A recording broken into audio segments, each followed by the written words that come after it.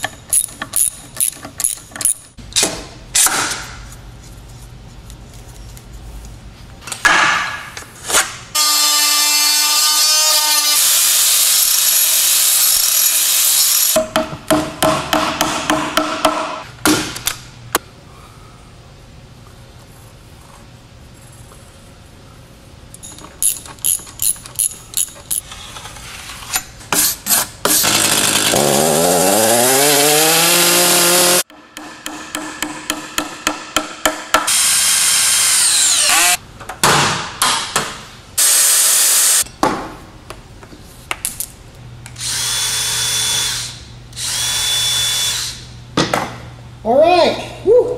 safety first. Well, it looks like we're done here. Um, made ourselves uh, something for the work day tomorrow.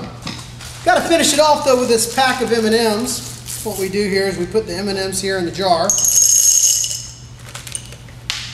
What we do here, we put it right here.